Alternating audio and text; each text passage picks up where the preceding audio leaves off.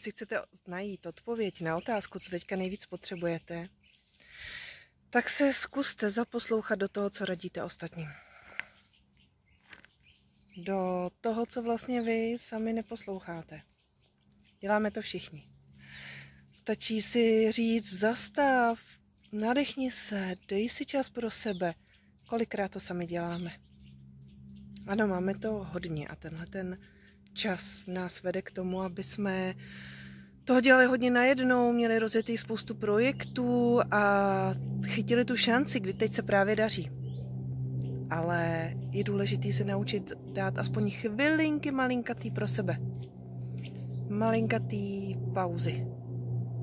Protože spoustu z nás baví hodně věcí, které nás nabíjejí a pracujeme na tom a děláme a cítíme, jak eh, se nám daří ale potom můžeme padnout s tím, že jsme úplně, úplně vysílení.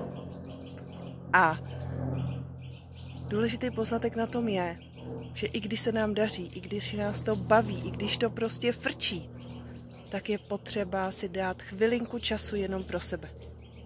A třeba jít do přírody, jako jsem já právě teďka. Protože dneska odpoledne začíná můj víkendový transformační seminář pro ženy, zaměřený na téma země.